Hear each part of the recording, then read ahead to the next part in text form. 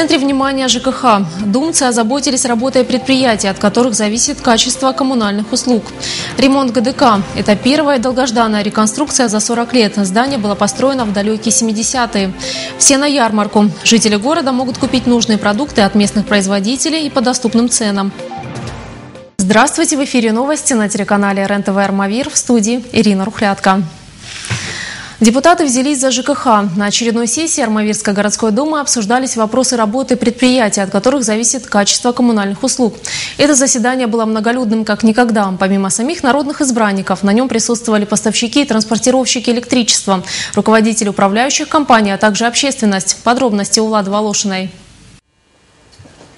Все мы платим за электроэнергию и знаем, что в тариф заложена оплата и за развитие инфраструктуры отрасли. Лампочки в наших домах горят благодаря работе двух предприятий – Кубанэнерго и НЕСК Электросети. Первое продает, второе поставляет электричество. Внимание депутатов привлекла работа обоих руководителей. НЕСК снизил объем инвестиций, и даже то, что удалось построить, не везде доведено до ума. В рамках э, программы 2011 года были э, реконструированы, заменены поврежденные кабельные линии, но часть из них на настоящий момент пока не находится в работе. У Кубанэнерго вообще разговор короткий. Кубанэнерго получила паспорт готовности по прохождению к отопительному сезону. Объем работ выполненный в части инвестиционной составляющей. Работы не запланированы по Армавиру.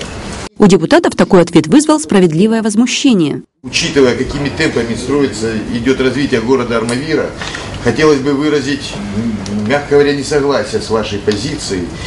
Э, кроме вас, все остальные хотят развития города. Вы полностью нас игнорируете. Ни копейки, это не, неправильно. Нужно исправлять положение, и мы очень надеемся, что руководители организации прислушаются к нашему мнению, подчеркнул глава города. В конце года депутаты еще раз пригласят энергетиков на заседание и попросят рассказать, что удалось сделать. А вот вопрос установки общедомовых счетчиков в многоэтажках отлагательств не терпит. Правила для жителей изменились.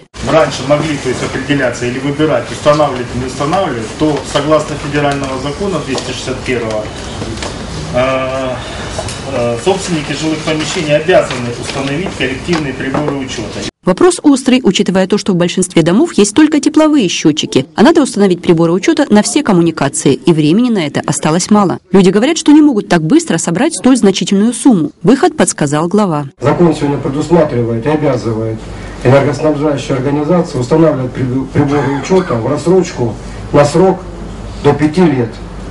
Работа управляющих компаний тоже вызывает массу нареканий у населения и вопросы депутатов. Такая э, фраза, а также более детально определить тариф. То есть э, не разработан стандарт, поэтому они не могут более детально определить тариф. Очень настораживает, что вы не можете определить детально тариф. Значит, вы этот тариф берете отсюда. Чтобы контролировать работу управляющих компаний, с помощью сотрудников администрации будет избран совет дома в каждой многоэтажке. Он будет принимать участие в определении стоимости и качества услуг компании. Глава города назвал эффективное взаимодействие жильцов и управляющих компаний вопросом стратегической важности. Самый главный вопрос, который сегодня волнует армавирцев на всех э, встречах или на приемах, это тарифообразование. Что сегодня, вот, вот люди присутствуют в зале, да, они же не просто пришли. Каждого их спросил, у них один вопрос – за что плачу и сколько плачу. Соответственно, это наша работа, мы обязаны сделать и сделать ее открытой вместе с управляющими компаниями. Влада Волошина, Грайер Ванян, служба информации телеканала РЕН-ТВ «Армавир». К другим темам. Начались масштабные ремонтные работы в концертном зале городского дворца культуры. На реконструкцию выделено более 15 миллионов рублей. Ход работы контролирует лично глава Армавира Андрей Харченко. Такого ремонта главный очаг армавирской культуры не видел со дня постройки. ГДК давно нуждается в современном облике, так как был введен в эксплуатацию 40 лет назад. Напомним, в прошлом году в новом стиле был решен фасад здания. Сейчас планируется полностью обновить интерьер зала. Уже ведутся работы по демонтажу старых кресел. Строители займутся ремонтом сцены. Планируется заменить пол и поворотный круг. Также обустроить профессиональную оркестровую яму. Модернизируют и систему освещения. Продолжая выпуск. Кто виноват и что делать? 196 автомобильных аварий, 13 погибших за минувшие 9 месяцев. Такова печальная статистика ДТП в Армавире. Как изменить ситуацию на дорогах? На эту тему рассуждали представители транспортных служб, автошкол города и сотрудники госавтоинспекции. Каким выводом удалось прийти, знает Алена Логвиненко. Уважаемые участники дорожного движения, в связи с увеличением количества дорожно-транспортных происшествий, а также в целом нарушений правил дорожного движения на территории города Армавира, просим неукоснительно соблюдать правила дорожного движения, а соблюдать скоростной режим, особенно при приближении к пешеходным переходам и к общеобразовательным учреждениям в нашем городе.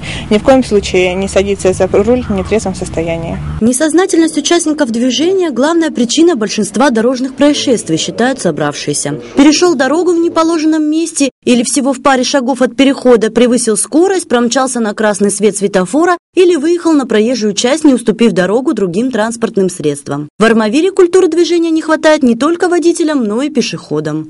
Несмотря на указанные мною цифры по снижению ДТП по вине пешеходам с участием детей, общее количество раненых ДТП людей за 9 месяцев увеличилось на 31 человек. И это серьезная угрожающая цифра.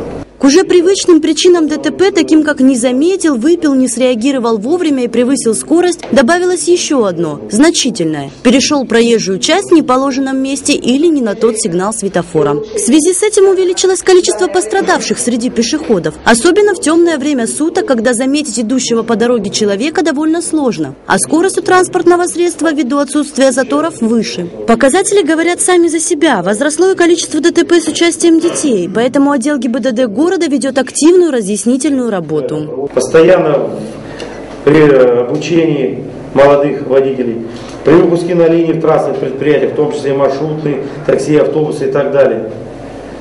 Постоянно надо всем месяцам постоянно им говорить, что действительно транспортное средство это источник повышенной опасности, как бы это банально ни было. Это действительно так.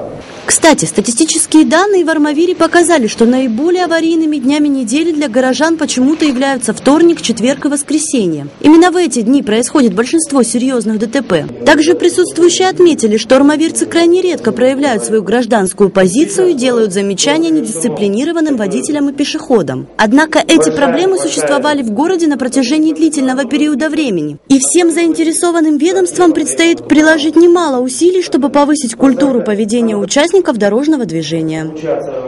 Алена Лагвиненко, Александр Романовский, служба информации телеканала РЕН-ТВ «Армавир». Одна из традиционных для России форм торговли – ярмарка в Армавире набирает обороты.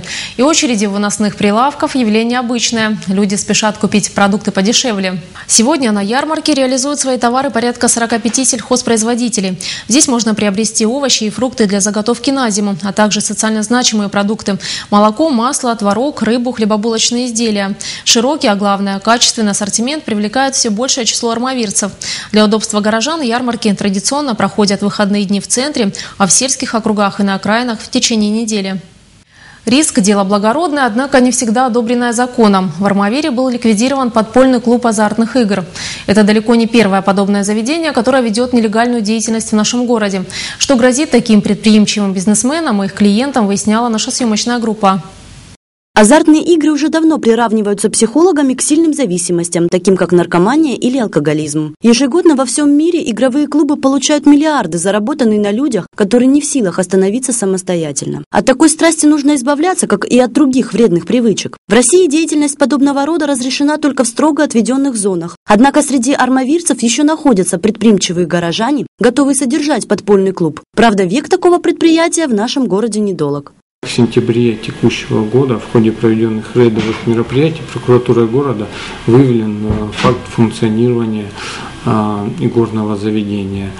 Э, деятельность осуществлялась через персональные компьютеры, через глобальную сеть интернет. Компьютеры, с помощью которых осуществлялась деятельность, будут переданы в Следственный комитет до постановления суда, а потом ликвидированы службой судебных приставов. Клиентам обнаруженного заведения грозит малоприятная, но не особо пугающая перспектива – встреча с сотрудниками полиции для профилактических бесед. А вот сам организатор игорного бизнеса может не только заплатить огромный штраф, но и лишиться свободы сроком до трех лет. Все зависит от того, сколько бизнесмен успел заработать на своем предприятии.